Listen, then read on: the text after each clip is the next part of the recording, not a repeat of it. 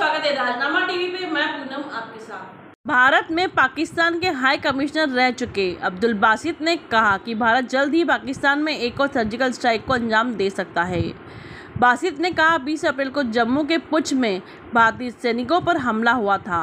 इसके बाद से पाकिस्तान में यही चर्चा है कि भारत एक बार फिर सर्जिकल स्ट्राइक कर सकता है।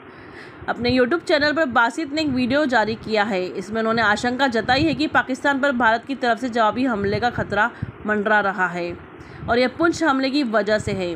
इसमें पाँच भारतीय सैनिक शहीद हो चुके हैं।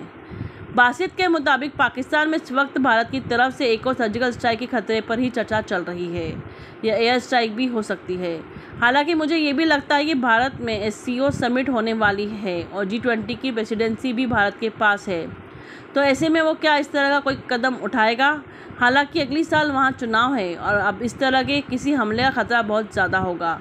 हो सकता है कि भारत में जनरल इलेक्शन के ठीक पहले पाकिस्तान पर कोई हमला किया जाए। इसी के साथ बने रहे राजनामा टीवी के साथ।